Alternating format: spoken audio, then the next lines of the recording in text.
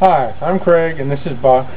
He and I are really good friends, but he's got a superiority complex. And if you watch, you'll see that complex get destroyed.